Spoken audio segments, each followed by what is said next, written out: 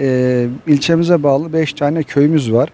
Bu 5 tane e, köyümüzden hastalar hastaneye gitmek için 3 vasıta değiştiriyorlardı. Köylerinden ilçemize geliyorlar. İlçemizden Kırıkkale'ye gidiyorlar. Kırıkkale'nin de Yahşan'da olan tıp fakültesi ve e, Yüksek İhtisas Hastanesi'ne gidiyorlardı. Hem maddi hem manevi kayıpları oluyordu. Çok zaman alıyordu. Biz de ne yapabiliriz dedik. E, bakanlıktan onayımızı alarak bu hastalarımızı sabah e, toplu konut alanından ve meydandan alıyoruz. Köylerden gelen kardeşlerimizi hastanelere götürüyoruz. Muayenelerini yaptırıyoruz.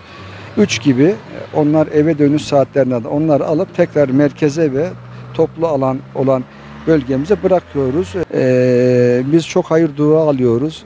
Hem arkadaşlarım çok mutlu oluyor aldıkları dualardan hem de biz çok mutlu oluyoruz. Çok güzel bir yöntem, güzel yani.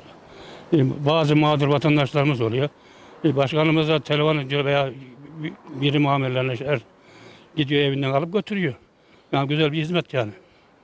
Memnunum.